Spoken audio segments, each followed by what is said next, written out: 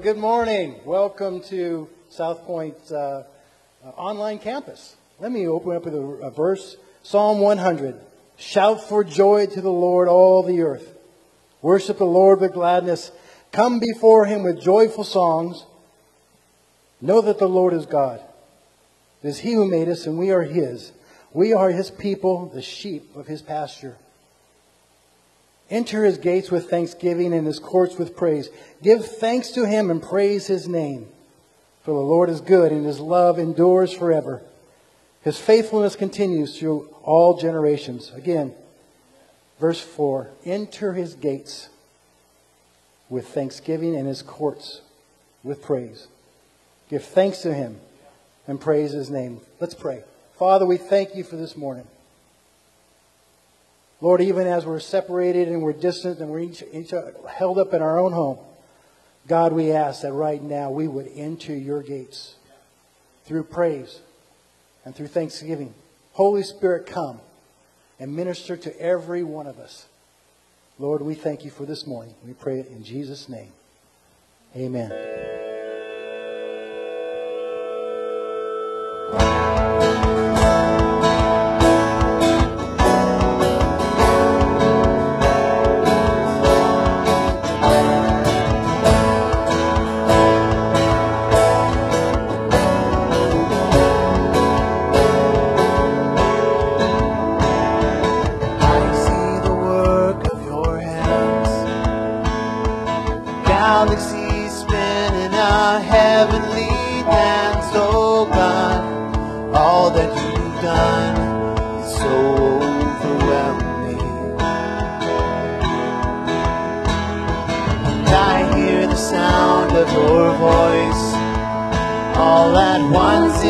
It's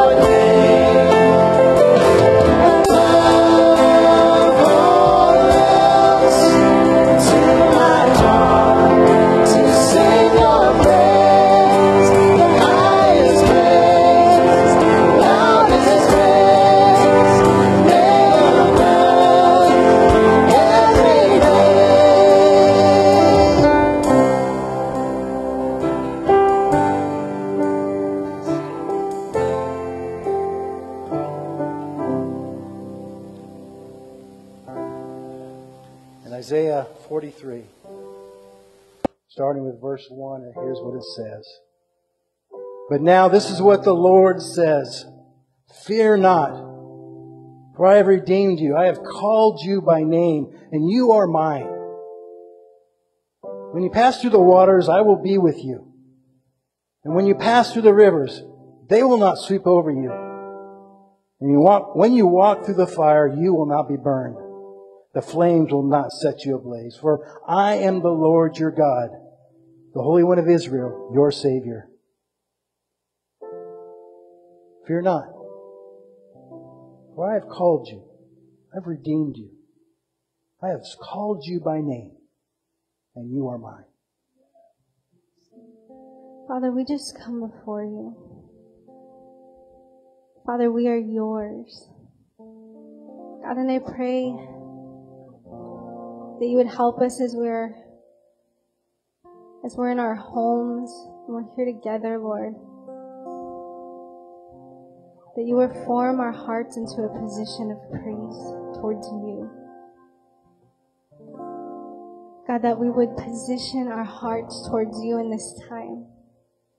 That you are mighty and you are great and you are worthy of praise. You are worthy of standing up for, of kneeling down before. Father, help us to get in that position of praise.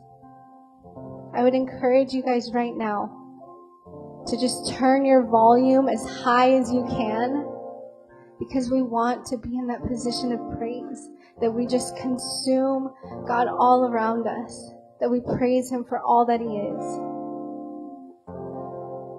Father, help us to do so. Amen.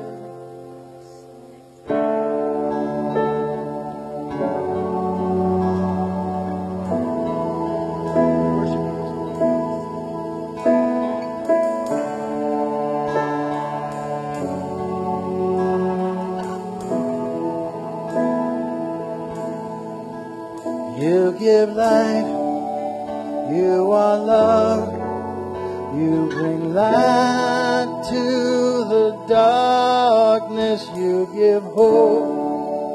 You restore every heart that is broken. Great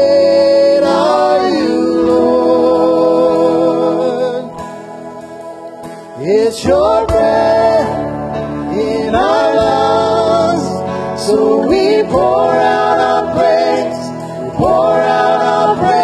your breath in our lungs, so we pour.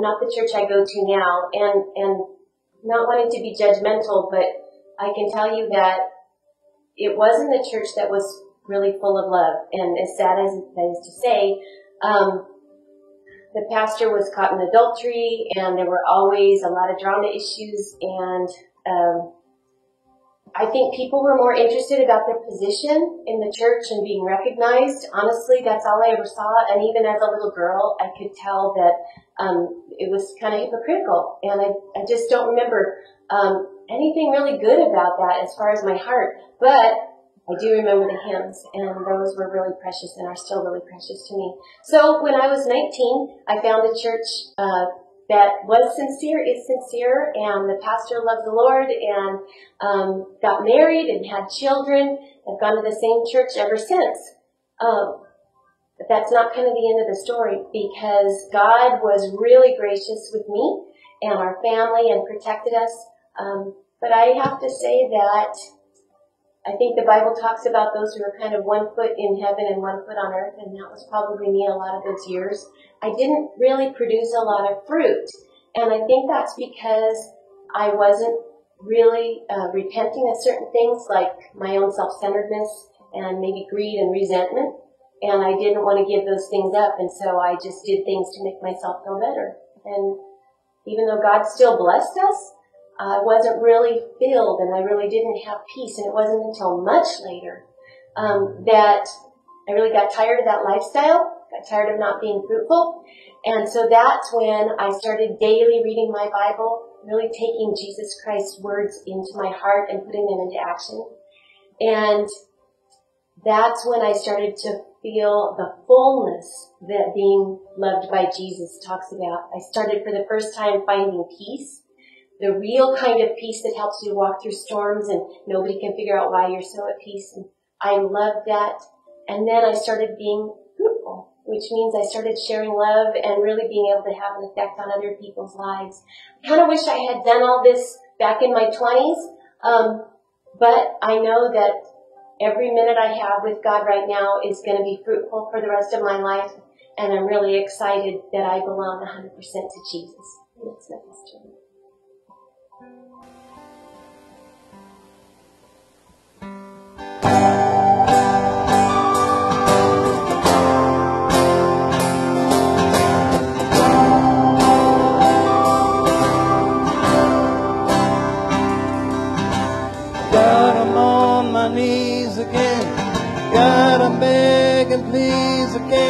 I need you. Oh, I need you. Walking down these desert roads, water for my thirsty soul. I need you. Oh, I need you. Your forgiveness is like sweet, sweet honey on my lips like the sound of a symphony in my ears, like holy water on my skin.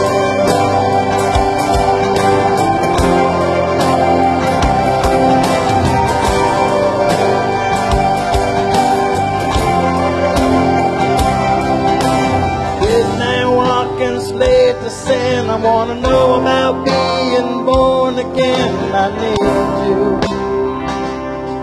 Oh, I need you. Take me to the riverside. Take me under skies. I need you. Oh God, I need you. Your forgiveness.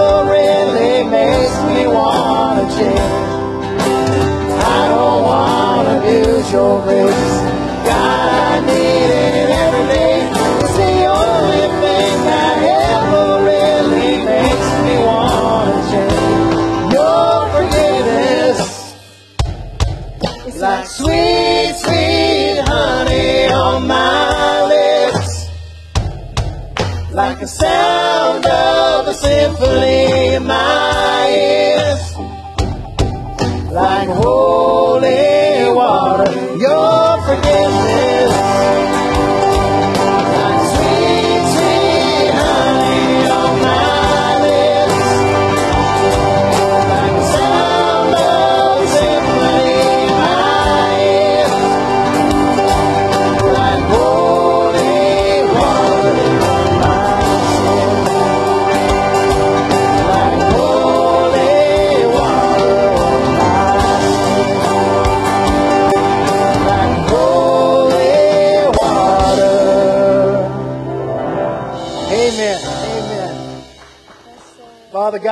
thank you that we can walk in complete, Father, holiness, cleanliness, unabashedly unashamed before you. Lord, we're grateful for that, for that. So much so. We pray this in Jesus' name. Amen. Amen. Hey, uh, this is a time where we greet one another, so make a comment on uh, online right there, and uh, we'll join you here in about 15 seconds.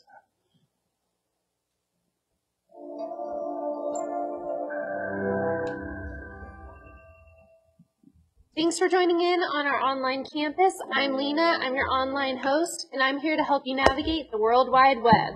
First, grab your mobile device. Now that you've reached for your mobile device or even your laptop, go ahead, open up the internet, and then you'll go ahead and type in southpointchurch.com. First, I'm going to show you our online campus, then I'll give you an overview of the rest of our website. As soon as you get to southpointchurch.com, you'll see a pop-up that says request help. If you're in need or know someone that needs help, go ahead and hit request help, and we've partnered up with Fitwise Industries for free grocery deliveries. All you have to do is fill that out. For the next thing, you'll go ahead and land on our South Point Church front page. You'll see a button that says online campus. Go ahead and hit that if you're watching with us online. Once we're live, you'll hit watch now on Facebook, which takes us to our Facebook Live page. Or if you want to watch any of our latest messages, it'll kick you to our YouTube page where all of our latest videos and updates and events are uploaded onto our YouTube. Also, we have our program notes down below here that you can click and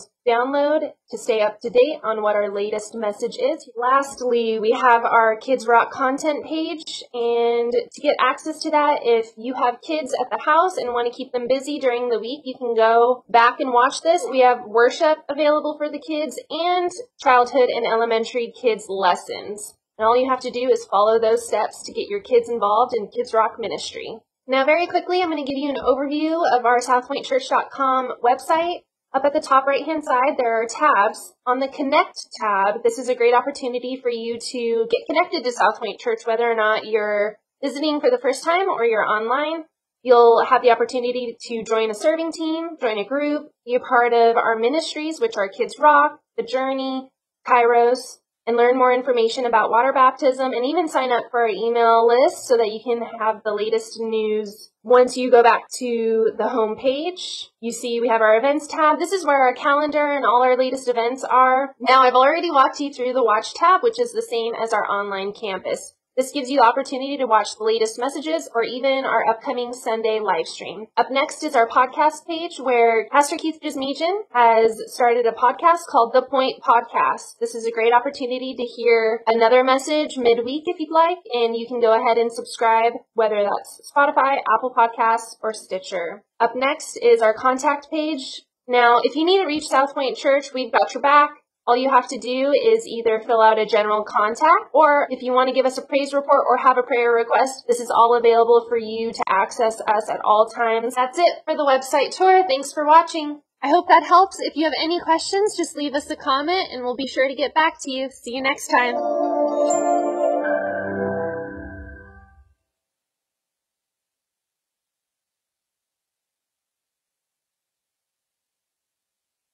Good to see you today. Hey, um, you're here, you're there, and we're here, but I want to let you know that the feeling here is that we're together. And isn't that a great experience? We get to be together at church. It's just, it's great that we can join, join together.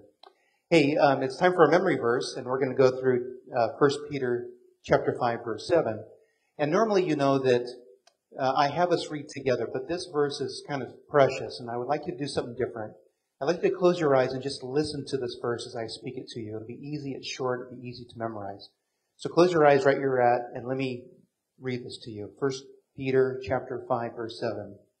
Sweet one, dear one, loved one, cast all your cares upon him because he cares for you. 1 Peter 5, 7. Do you believe that? Hear that? Ish? Morning, buenos dias. Um, I wish you guys were here. It's, you know, I miss saying the wow because because you guys were here, but we gotta listen to her to prevent this virus going even worse. But it's Primera Pedro, Primera Pedro 5.7. Depositen en toda ami- ansiedad, porque Él cuida de ustedes. Primera Pedro 5.7. And everybody said, Amen.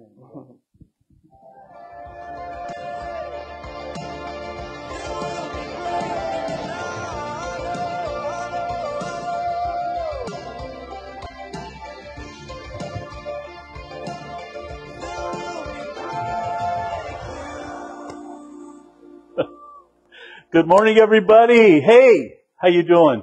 Thanks for allowing us to come into your house. I guess from cave to cave. You're in the South Point house right now, and we're so glad. I've just got a few people here helping us do Sunday morning so we can celebrate Jesus together. So glad we had this chance to worship and uh, love you, thinking of you, praying for you. I know there's new people online. Welcome. We're so glad you're here. Listen, I'm going to get right to it. So I want you to go to the book of Romans right now. So find, by the way, this morning as well, grab something to write with. I'm just going to jump right in if it's okay with you. Lord, I pray in Jesus' name as we get into your word, it would get into us.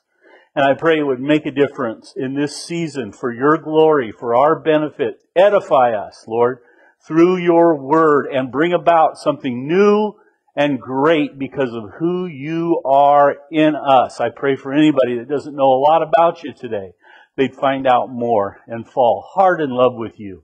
We want to do that. I pray for my friends at home that we would do this together. And as we look at your word, Lord, may it look at us. Bring about what you'd want in this season in Jesus' name. If you agree, right? Amen. All right, man. Hey, listen, Romans chapter 5. I'm going to jump right in. Here's the, here's what I want to do. This really, uh, what I want to talk about today and next week as well is, is a, is a response to a conversation that I had. And the conversation was about whether or not God, or let me say it this way, why does God allow hard things or sufferings or pain, inconveniences, disruptions? Why does God, is God the author of those? And why does God allow that if He's good? And so I want to answer that. Uh, this really is a response to a dear friend of mine that we talked this through. And I hopefully, I, I really believe this is an important subject for us to talk about together um, uh, as we go through this season together. I'm a little hot right now. It's it turned a little bit hot in Fresno. If you're if you're watching from some other place, let us know where you're watching from. By the way, but it's, it's got hot in uh, in Fresno. It doesn't get hot. It gets hot. It's just a hot man. It got a little hot. So a little hot this morning. So hopefully you're comfortable where you're at, and we'll have a. It's not going to take too long for us to get through this this morning, but I really want you to stay all the way through our time together. I believe the Lord will bless you, and because of His Word. So Romans chapter 5. The title of this little talk today and next week is the purpose of your pain or never waste your pain. And I think the subject might be a little bit, or the title might be a little misleading. Because in this season, not everybody is feeling the same amount of pain. Pain is relative, of course. Uh, suffering is relative. There's suffering going on in the world and was going on before the coronavirus. That is uh, different from, uh, it's different for everybody. There's suffering today, somebody who's lost a loved one because of what we're going through. There's suffering when someone's on a respirator and the family and the person doesn't know the outcome of that. They're suffering financially, obviously, things they're going through. If you lost your job, there's a suffering. Perhaps because of the loss of job, there's a suffering of losing home or lo- losing the place that you live ultimately. Just, I, I want to say to you, uh, because it is different for everybody, maybe the, I'd like to change the title. I asked that on the screen there you would see that uh, the purpose of your or my, and then there's a blank there. And I want you to take a pen or a pencil if you would, find a place in your Bible or find something to write on and you put what it is for you. Maybe the purpose of the isolation, the purpose of the disruption, the purpose of what God is doing in this season. I'm not saying God's the author of those things. I'm saying God will use those things in an amazing way if we allow Him. I'll show you a couple of verses right now that help us understand that. He's not the author of suffering or pain or troubles, but He certainly doesn't shy away from using those in our lives to do something good. He's not the author, he's the redeemer of those things. And so I want you to understand, I'm going to dive in the deep end. I felt some hesitation to be honest with you this week. I thought the last thing you and I need to talk about is pain today. And I really felt like the Lord trumped me on that and said, no, that's exactly what you're going to talk about. You're going to talk about what I'd like to see happen in this season. So, Romans chapter 5, let me read to you from the book of Romans. By the way, I just want you to know the uh, 2,000 years ago during the Black Plague, Christians who were persecuted in Rome ended up fleeing the city when the Black Plague hit Rome. The Christians who were persecuted went back into Rome and actually helped take care of the people that were sick. Isn't that amazing?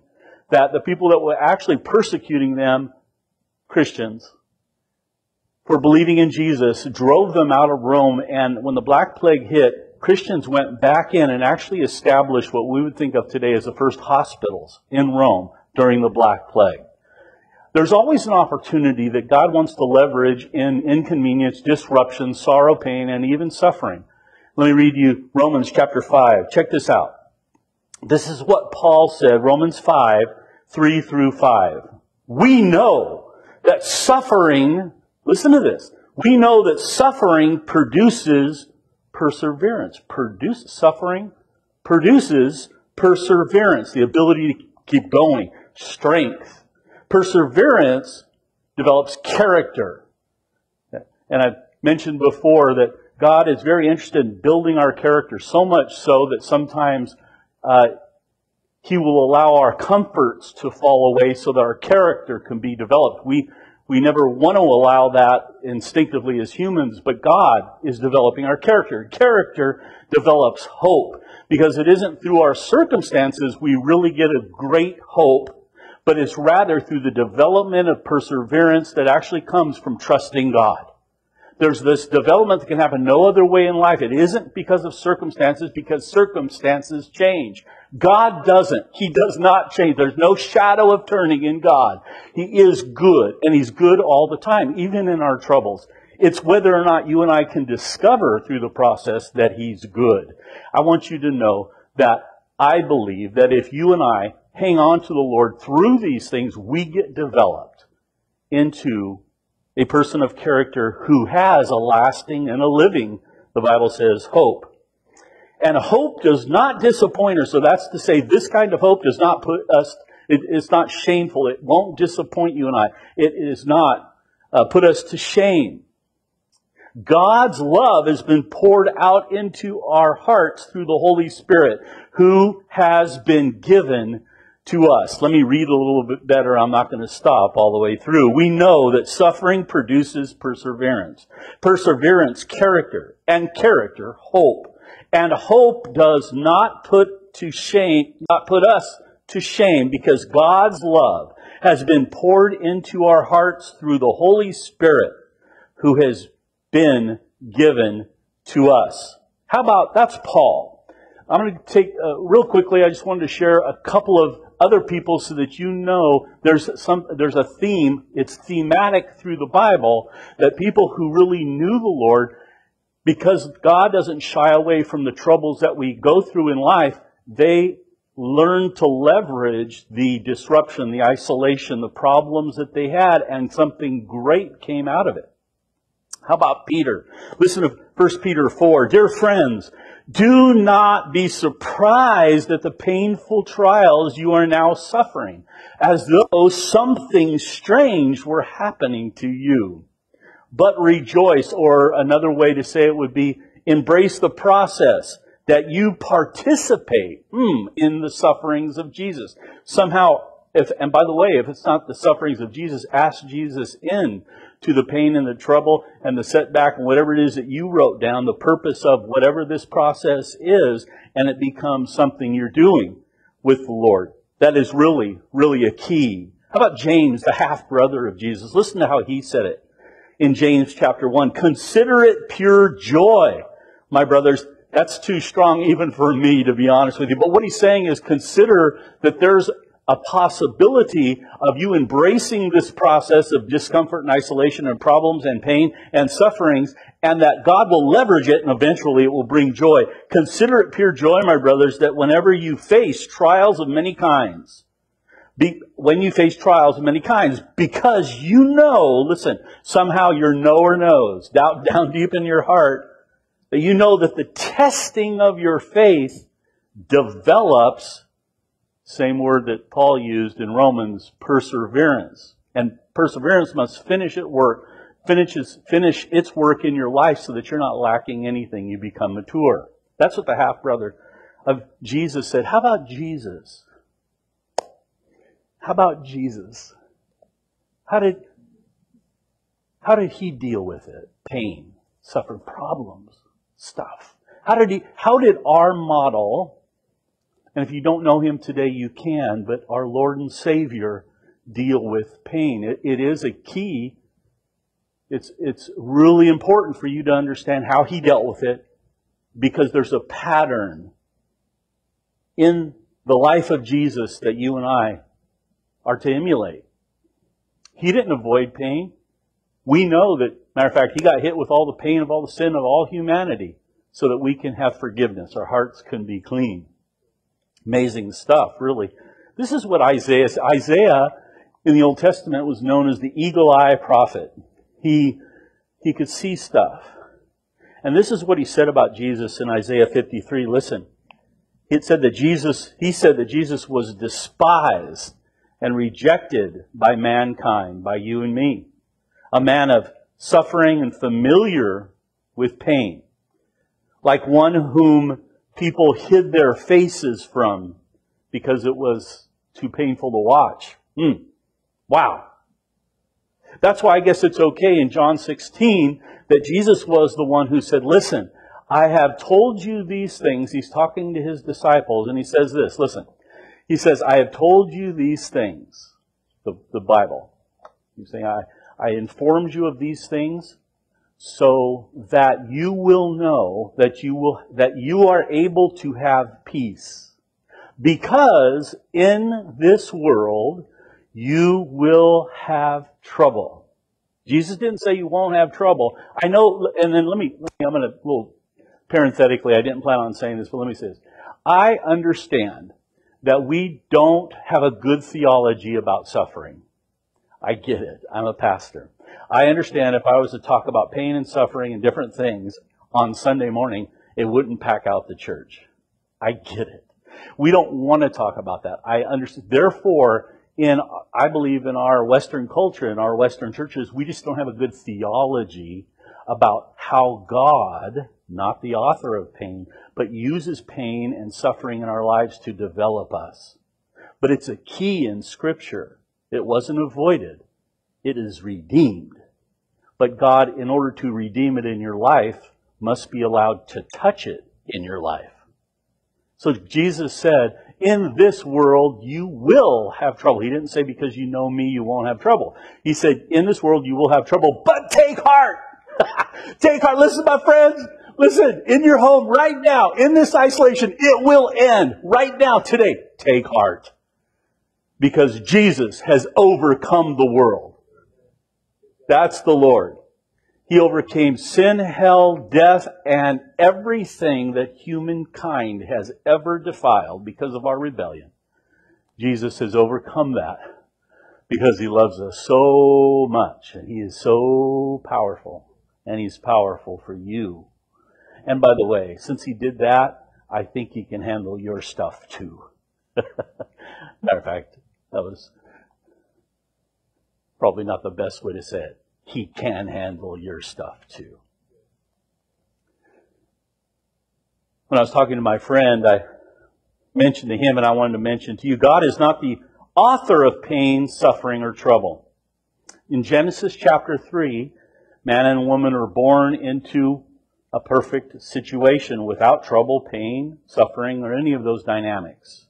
Because of humankind's rebellion, what happens is there's distance between God and man. And you know what happens right after that distance?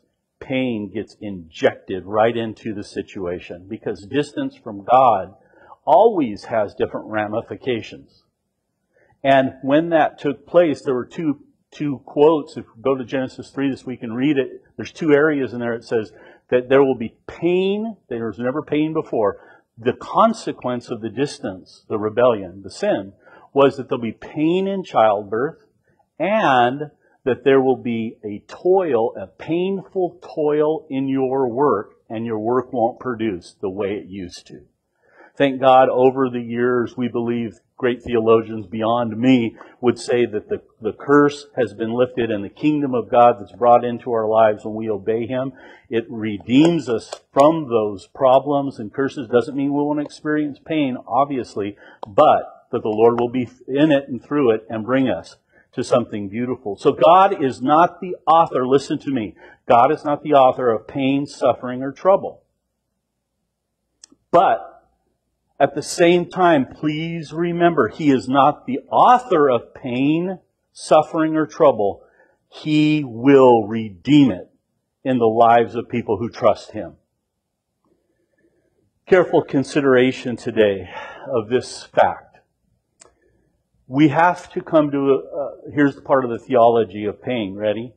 Is that we benefited more from Jesus' sufferings than his celebrations. Let me give you one example. We celebrated it two weeks ago, and that is the Palm Sunday event.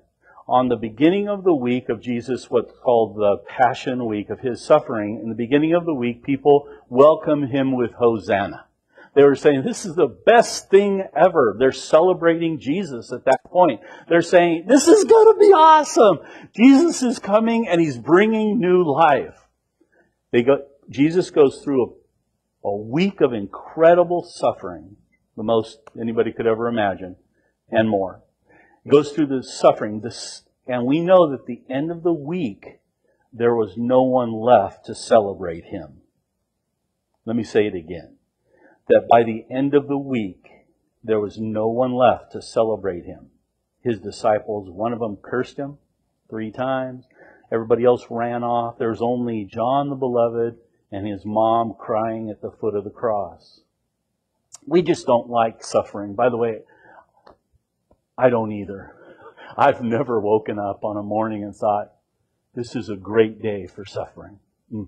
I think I'll plan on suffering all day long. I've never woken up, and I don't plan on it. I, just hear my heart. I don't want anything to do with it either. I've never thought to myself, I'd sure like to go through a good 10 year span of just hard things.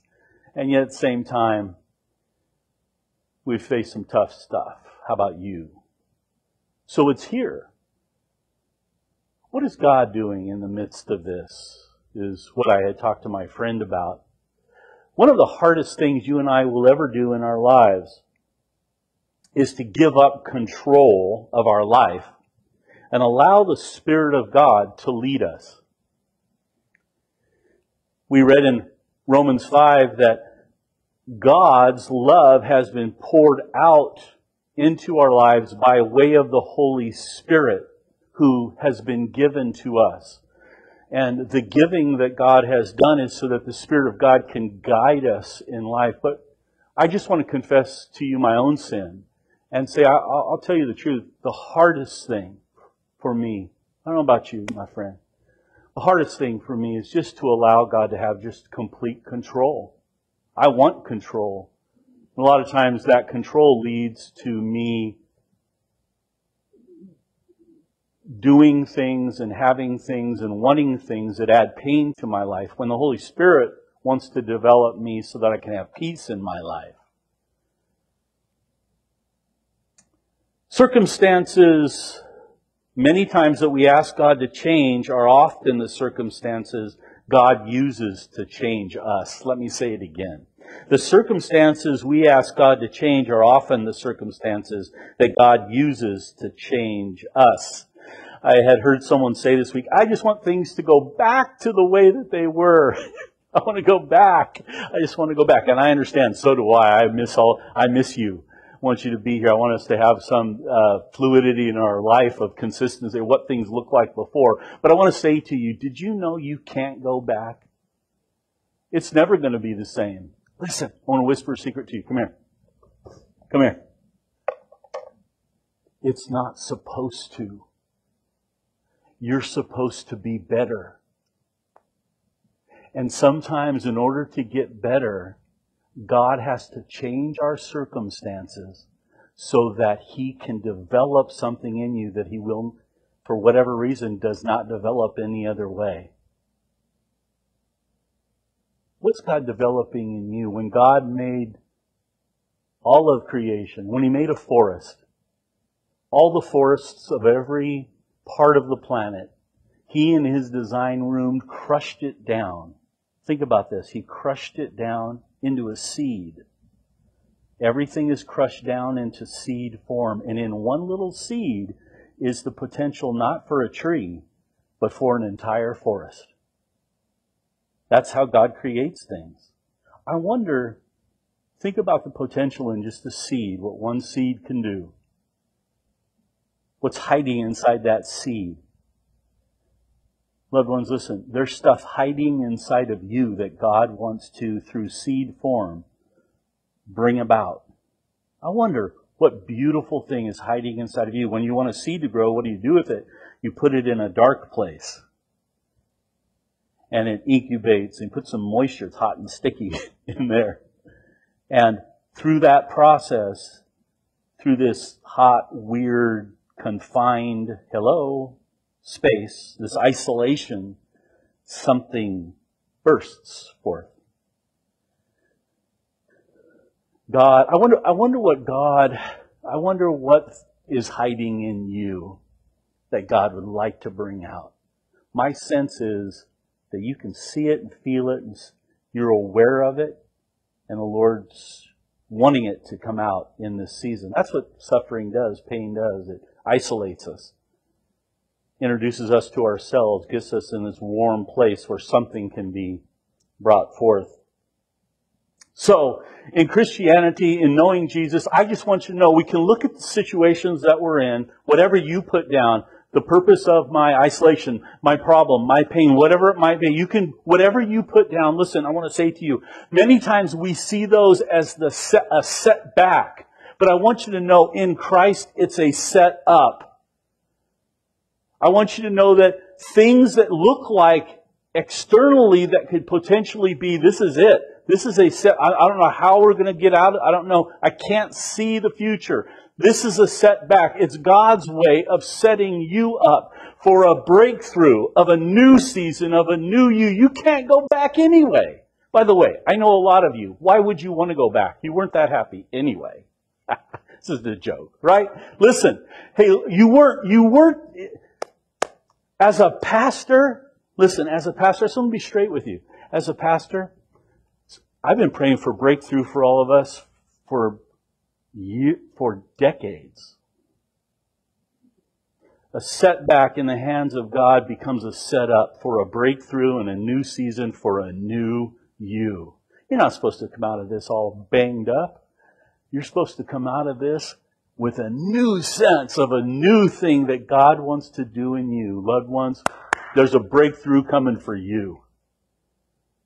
Five things I wanted to present to you. I'm only going to go through a couple of them quickly today, but I wanted to talk to you about I can use pain, I can use my isolation, I can use my problems for good.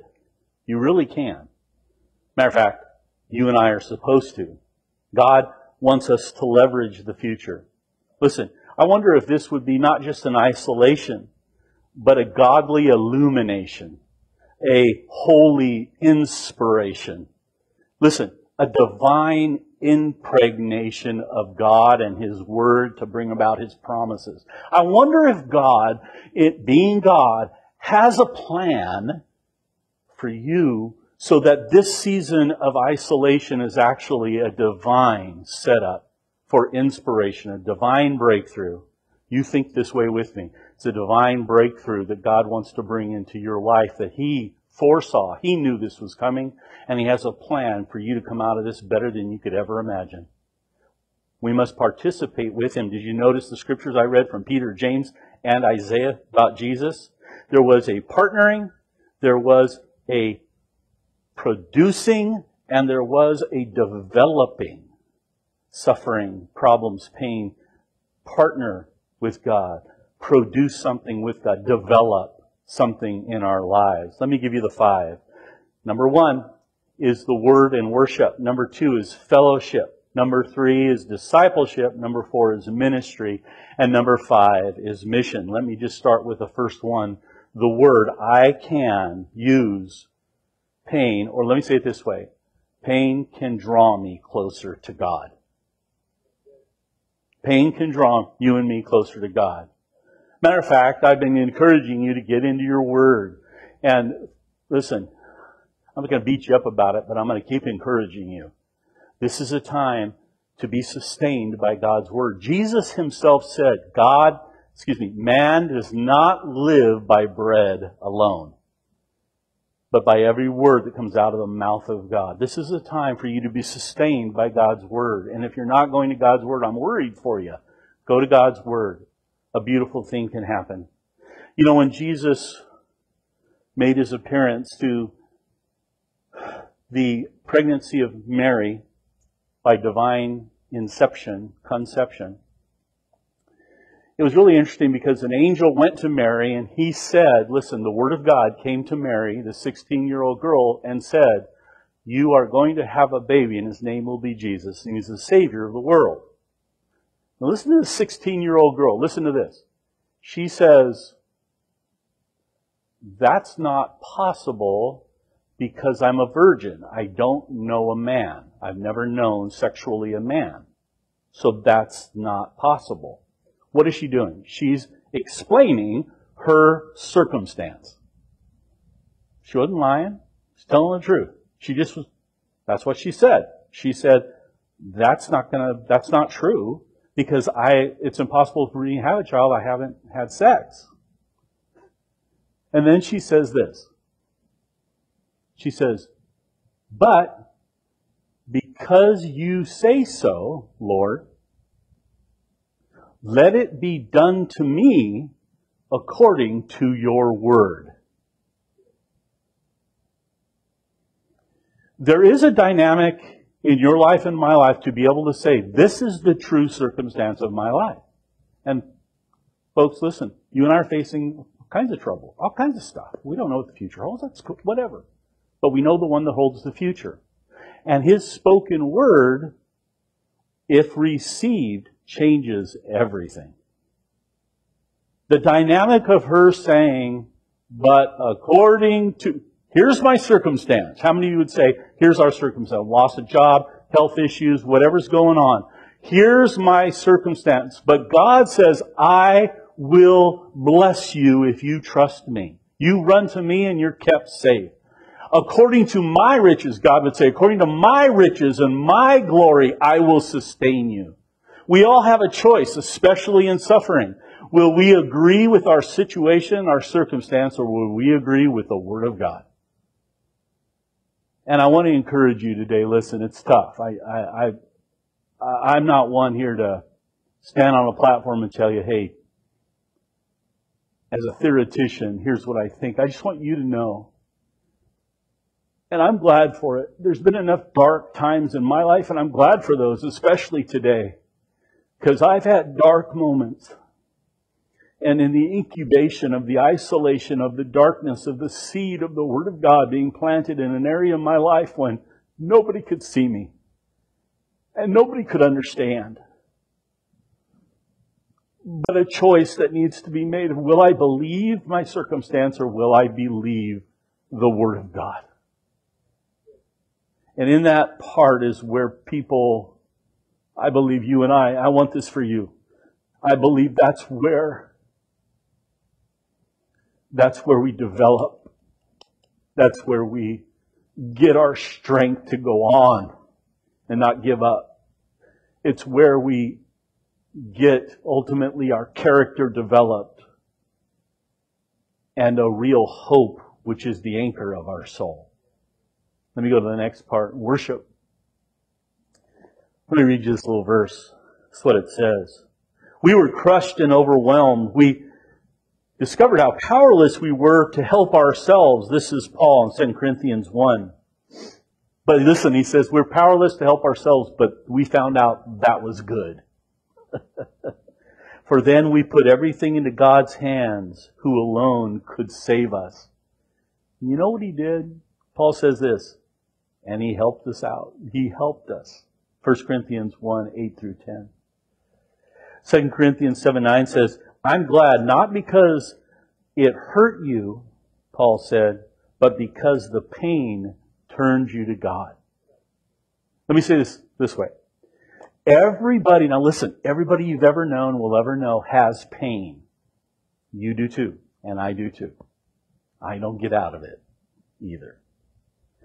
Here's the question, the only question, uh, and then I'll put, I'll give you some work happy work, divine inspiration stuff to do this week with what I want to teach you. But listen,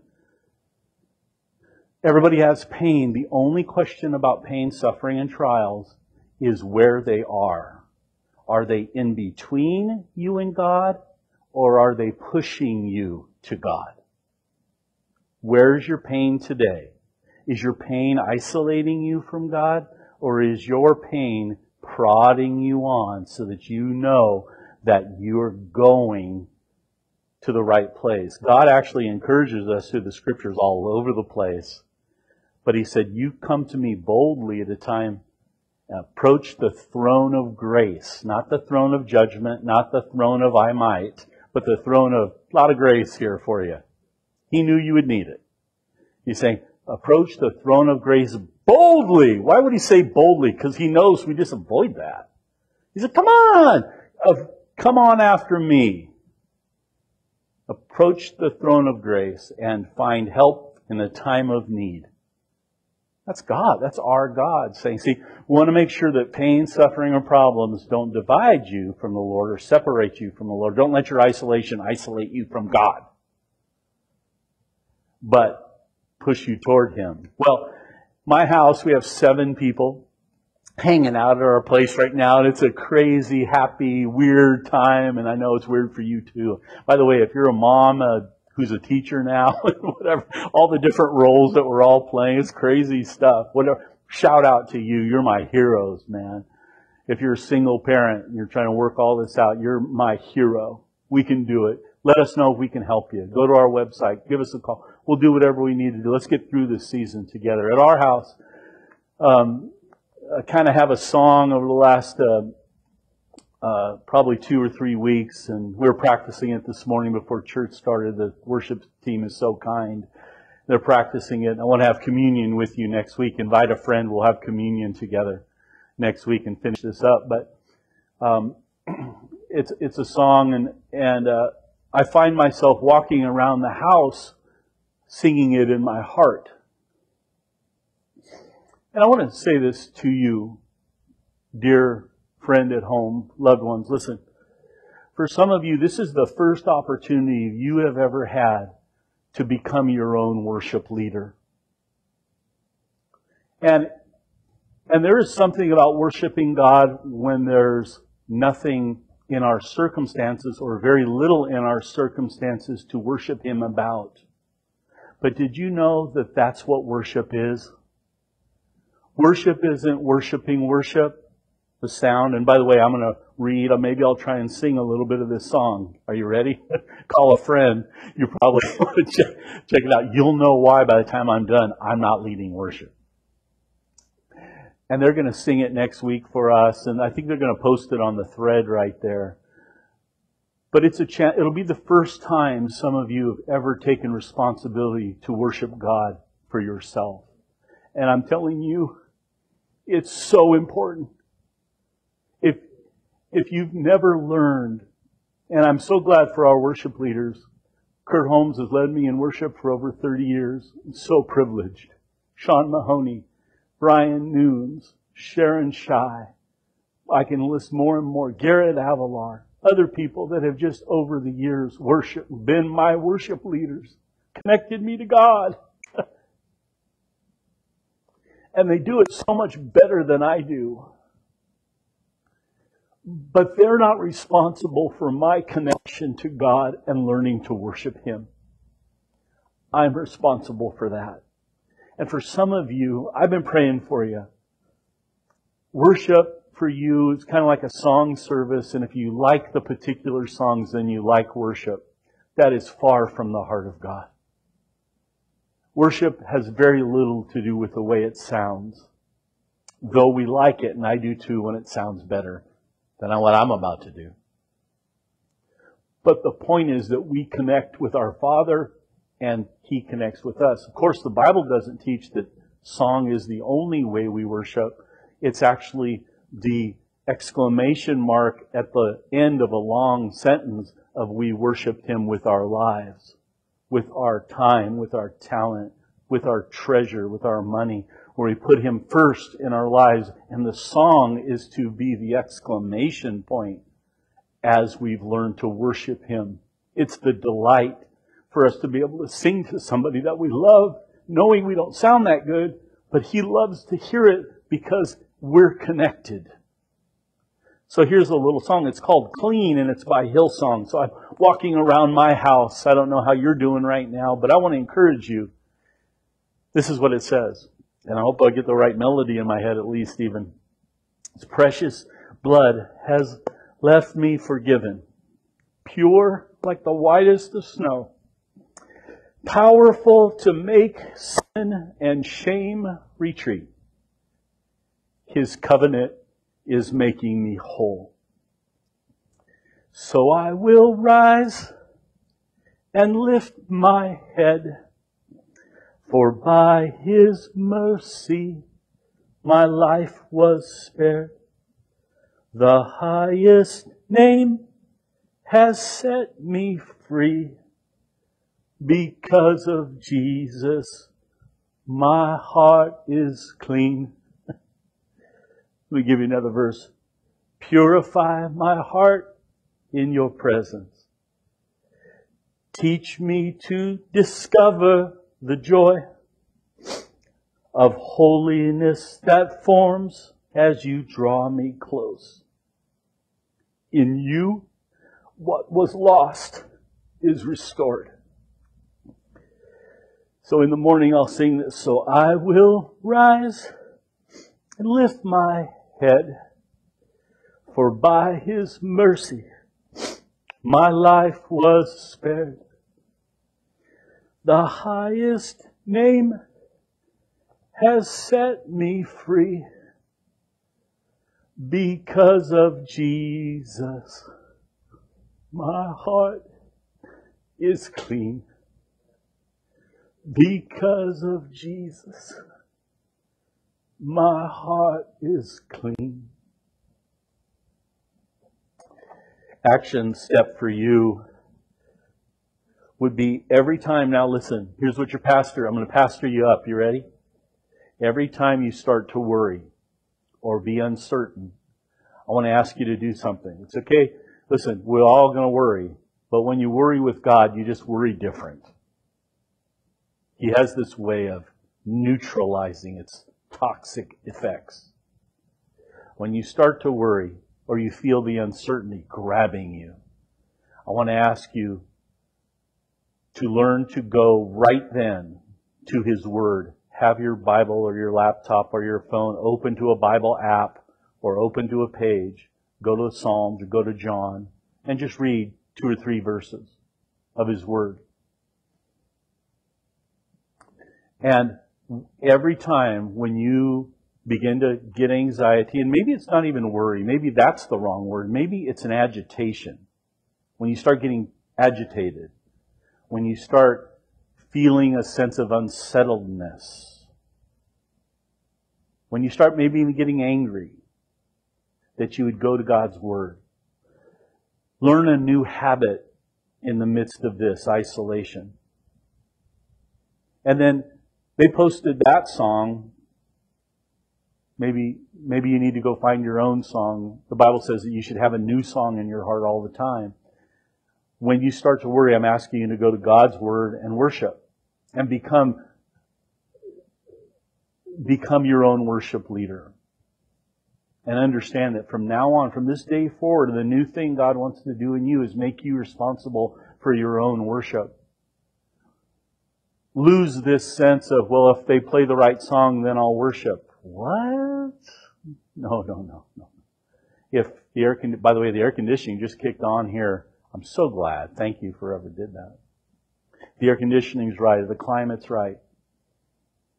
Job gives us a big hint about this. He goes through more trouble, pain, sorrow than anybody's ever faced. He's naked, scraping himself because he has sores. We believe elephantitis. And he says this. He says, Hey, naked I've come. Naked I'm going to go. Though he slay me, yet will I praise him. He wasn't saying that God was slaying him. What he was saying is, if this circumstance takes me down, I'm going to go down worshiping God. And I think until we get there, we've missed the point. It's when uh, we uh, only have Jesus, we discover He's all we've ever needed. And He'll pull us through. Be better than you think. Word and worship, which leads me to fellowship. Fellowship. Pain can, or whatever you put, isolation can draw me, first of all, to God, word and worship, and then to others. Well, how are we going to be drawn to others when we're isolated? from each other. Let me say it this way that you would begin to engage in the fellowship of suffering. Why would you want to do that? Well, Paul said it like this. He said, I want to know Jesus, the power of his resurrection, and the fellowship of his suffering, so that one day I will be able to rejoice when his glory is revealed. Friend, listen, let me say it to you this way. Aren't you glad? You know, l- let me start with this. I think it's interesting that this coronavirus has leveled the playing field in this way. It's not happening over there. This situation isn't, well, those poor people in that poor country. It's, it's happening to them. No, it's a worldwide thing. It's happening in different degrees to all of us. Looks like no one will be untouched. Maybe some people will come out better than others. Praise God. And I mean that. But it's going to touch everybody in some way. So it isn't some remote village somewhere. it's right here. So come to a place where we uh, have to choose. Hmm. Personally, let me say it this way. Aren't you glad there are some people that understand your suffering and you don't have to explain it to them? That you don't have to explain every detail about why you feel the pain that you feel. Isn't that a beautiful thing for you? Has it ever happened to you? Hopefully it has. I believe God's developing this magical thing. It's called biblically the fellowship of the suffering.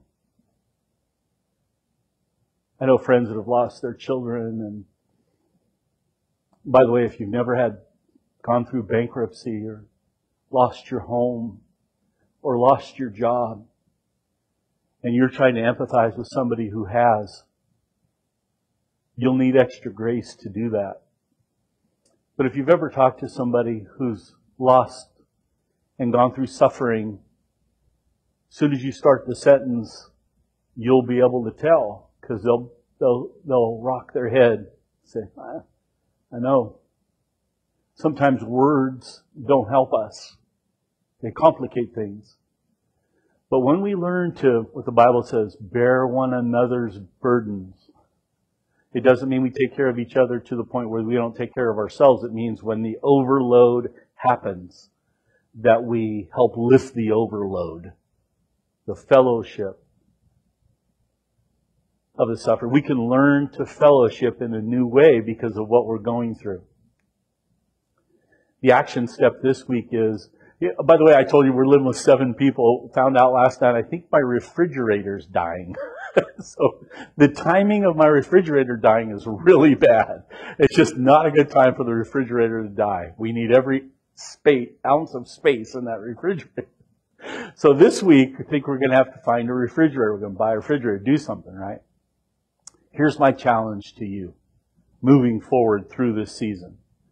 For every one thing that you problem solve for yourself, that you would, and I'm thinking of bigger things, you know. I know in in life, getting a new refrigerator is a big thing, but it is for me, for us. That when something like that happens, that I would do one thing to reach out for someone else because everybody's refrigerator's dropping at some point, right? Everybody, when we uh, teach pastors to preach, we say pray to preach and pray to broken hearts because there's one in every pew. I wonder this week if you need to solve that problem for yourself, maybe you give somebody a call and say, "Hey, at least let me. What, what's what's your hardest thing right now?" And let them say it to you and then pray, if nothing else, pray for them. Maybe take an action step and do something. We can learn in this season to reach out and do something good for someone else. Some of you are super restless, restless. And instead of being restless and just learning to complain, maybe that's the signal for you to reach out. And do, now's the time to take some initiative carefully and reach out and be there for somebody. By the way, we're partnering with the state of California. You can go to our website and it says if you need food or if you need a job or if you'd like to serve. There are now hundreds of thousands of people that are needed to deliver food to seniors and people that are at high risk. The state of California is going to pay for that. And they need people to serve in that way. You can go right to our website and click on there and, and get out of the house and go do something important. That may be something you'd really want to consider. You get the idea of what I'm saying. And you hear it again learn to replace the habits that are not helping you with habits that will, and God will bless your life. You can use the discomfort, the isolation, pain, the trouble that you're in right now to leverage it for God and for you, God's glory and your edification. Galatians 6 2 says, By helping each other with our troubles, we truly obey the law and the heart of Christ. Wow. It's great stuff. Lastly, I can use pain to become more like Jesus. we kind of talked about it already, but the word in worship, I can use pain to draw closer to God. I can use pain, number two, to draw closer to others. And three, can use pain to become more like Jesus. Now, isn't it wonderful all the ways in which distress has goaded you closer to God? Listen to this, 2 Corinthians 7:11. Now, isn't it wonderful all the ways that this distress has goaded you closer to God? Listen, are you being promoted? Are you being pushed to get a little closer to God? You're more, listen to what it says. You're more alive. Hmm. This is how God wants you to come out. This is the breakthrough. After, in a couple of weeks, we'll probably be meeting again. Here's my greatest fear is that nothing will have changed for your life spiritually. That's, that, honestly, I just want to be honest with you. That's my greatest fear. We're so quick to get comfortable and forget that there's a God who wants and desires us. You're more alive. You're more concerned. Listen to this. You're more sensitive. You're more relevant. You're more human. Mm, more passionate. More responsible. Look at it from any angle. You've come out of this with a purity of heart. That's what God wants. I had talking to somebody this week who hasn't been to church in years and they're complaining that they can't go to church. Classic. I sure hope when church doors are open, they'll come back. Isn't it human to just, we just gravitate, don't we? Well, I want to remind you that uh, we're the kind of people that walk by faith and not by sight. Would you say this with me? I never want to waste my pain. Don't do it. God's bringing it, allowing. He's not the author, but He will leverage it for great things in your life. Matter of fact, let's pray to that end. Would you bow your head right there in your home today and let's pray together. Would you repeat after me, those of you that are here and then also at home? Heavenly Father, I trust you. I trust your word. You said you work all things together for good for those who you love and for those who love you. I love you. You know what? With your head bowed right there, let me ask you if you've never surrendered your, surrendered your life to Jesus Christ as Lord and Savior, now's your moment. You would just say this simple prayer if you mean it. You know that Jesus died on the cross for you, resurrected so that you can have eternal life and life, forgiven life now. Just pray this with me. Just say, Lord, I receive you. You're my Lord and my Savior. Forgive me my sin. Fill me with your Holy Spirit. The same Spirit that rose Jesus from the dead, alive in me. Let's finish this prayer. I know you're working in me. You're using everything so I can be closer to you. Worship and your word. Closer to others. Fellowship. More like Jesus. Discipleship. Learning to help others you're going to give me ministry out of this. And to be a witness to the world, which is the mission. I receive it today, Lord. In Jesus' name. And if you agree, type Amen. It's not a setback. Listen, it's a setup for a breakthrough, for a new you. That's what God's doing. Hey, hang with us for just a couple more minutes. Listen, prepare your tithes and offerings online. Uh, we're going to show you how to do that right now. Don't forget to pass it on because we want to be here to help people as well. Check out this video. It'll help you know how to do it.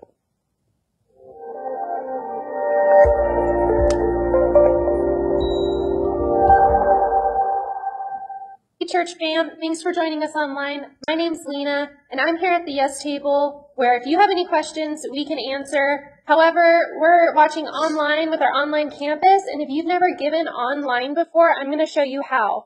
Instead of dropping your tithe off at the church, I'm going to show you how to give right here online at southpointchurch.com. Once you arrive to the page, at the top right hand side, you'll see a button that says give. Go ahead, click on that, and that'll take you to a place where you can hit the donate button, and that'll take you to our PayPal system. Go ahead, place in the desired amount that you would like to give, and just below that is a drop down menu.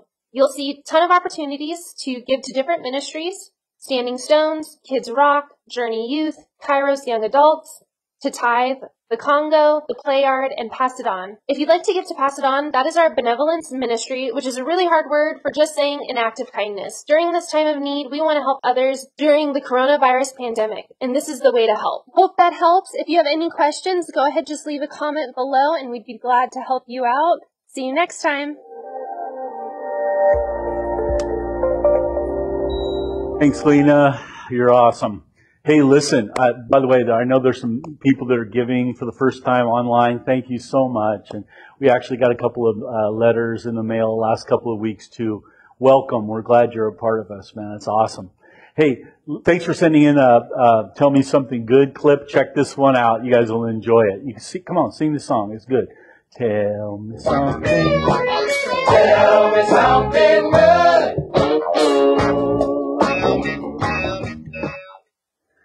morning, friends. This is Pastor Brian with South Point Church. Hey, let me tell you something good. So I have on here one of these uh, coronavirus masks, and I wanted to tell you about these. So uh, my wife, Pastor Claudia, and our daughter, Erin, uh, Erin had this wonderful idea of making these masks. She's off of work. She's a teacher. And so Claudia, Erin, my granddaughters, Melina and Harper, uh, they got together. They got some fabric from Linda Funk. Thank you, Linda Funk, for your help. You're part of what made this happen. And so they got together for the past week and they've been making these masks, as you can see here. And there's these, uh, they're just homemade, but they're available to for anyone here who would need them. And, uh, they're very clear. They're just homemade. There's, um, uh, not for sale, but it's just for anyone who'd love to protect themselves and for others. So that's what we're doing, what my children are doing, what we're doing for the body of Christ and to help us all out. So that's something good, and you can do it too. Tell me something good. Tell me, tell me, tell me. Hey, listen. Don't forget, you need anything, go to southpointchurch.com. I had a couple of notes here. Oh, listen, if you if we don't have your email, give it to us. We'll give you a weekly update. Also, I'm doing a weekly podcast, so check that out. You can go on our website to do that or Spotify, Stitcher, Apple Podcast and figure that one out. Oh, Touch Point with South Point. I know you've seen it on the Facebook thread. I know a lot of you have checked it out already. I'm having the leaders here at South Point do a daily devotion. So no, we're eliminating the excuses. Just go on there for a minute or it's like anywhere from three to five minutes. Maybe I think the longest one's been about eight minutes. And it's a great little devotion to help you out. You get to hear from our leaders too. And I really like seeing their faces. They're awesome people. And uh, so anyway, Touchpoint, South Point, it'll be on Instagram thread here too, either next week or the following week. You know, do that. So get into God's Word. Let it get into you. It'll be a beautiful thing. Last thought about our thoughts today. And that is in the book of Revelation, chapter 21. Jesus says this at the very end. He says, Hey, I will wipe every tear from every eye. I, there will be no more death. And there will be, listen, no more pain. That's our Lord. He's not the author. He's the Redeemer. It's a, it's a time for you. Listen, I'll be praying for you to have a breakthrough. It's not a setback, it's a setup. A breakthrough for a new you heading in and through this as we have a chance to be, to be together. Looks like maybe we're a couple weeks out from doing that.